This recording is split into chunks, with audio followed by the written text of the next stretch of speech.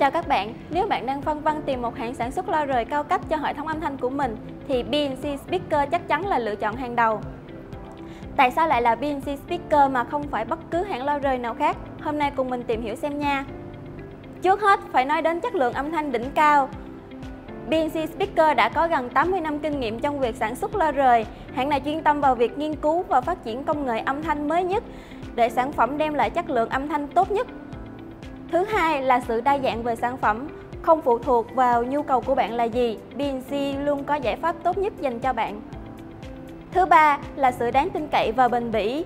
BNC Speaker đã luôn lựa chọn những vật liệu cao cấp như neodymium, titanium và sản phẩm của họ luôn được kiểm nghiệm kỹ lưỡng trước khi đưa vào thị trường để đảm bảo hoạt động ổn định và tuổi thọ được kéo dài.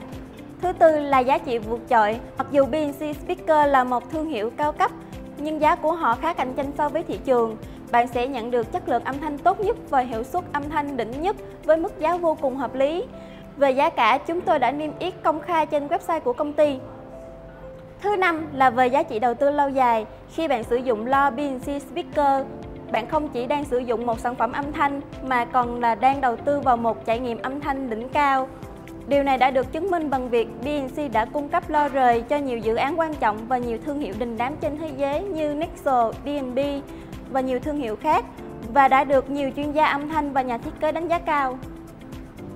Thứ sáu là hệ thống kênh phân phối và đại lý của chúng tôi có mặt khắp tại Việt Nam. Điều này sẽ hỗ trợ cho bạn về mọi mặt một cách tốt nhất và nhanh nhất. Các đặc điểm trên chưa phải là tất cả những gì mà BNC Speaker đang có, nhưng hy vọng rằng nó sẽ giúp ích cho bạn trong việc ra quyết định lựa chọn hãng loa rời cho hệ thống âm thanh. Cảm ơn các bạn đã lắng nghe. Hãy đến nghe và trải nghiệm chất âm của loa rời BNC tại các showroom phân phối chính hãng mà mình có để ở cuối video. Nếu các bạn quan tâm mẫu loa nào và muốn mình review thì hãy comment cho mình biết.